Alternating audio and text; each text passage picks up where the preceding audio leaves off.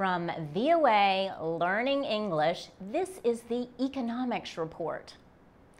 Ghana arrested more than 100 Chinese nationals in June. They were accused of illegally mining gold. In February, Zambia seized a Chinese operated mine because of safety concerns and Gabon has decided to seize property from three foreign oil companies, including one from China. Some observers say these and other incidents appear to be a reaction by African governments against Chinese investment on the continent. China became Africa's top trade partner in 2009 Yet some Africans believe they are not getting enough for their exports. Bright Simons is with the Imani Group.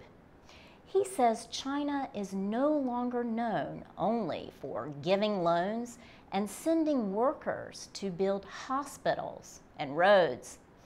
He says China is now a business partner Ghana has taken steps against foreigners involved in shallow mining for gold.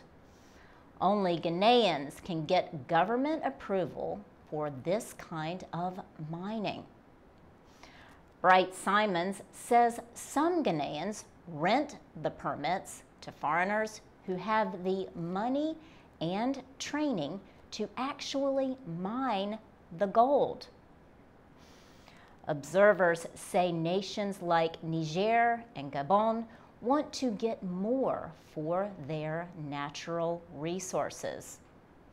They want more money, more local jobs, and better living conditions. Worldwide demand for oil, coal, iron ore, and uranium has made their negotiating position stronger. Some nations are also concerned about abusive or illegal operations.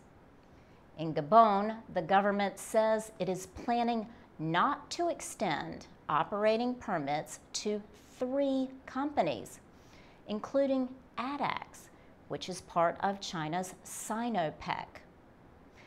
Many experts believe the partnership between China and Africa will continue to grow, but now perhaps on more equal terms.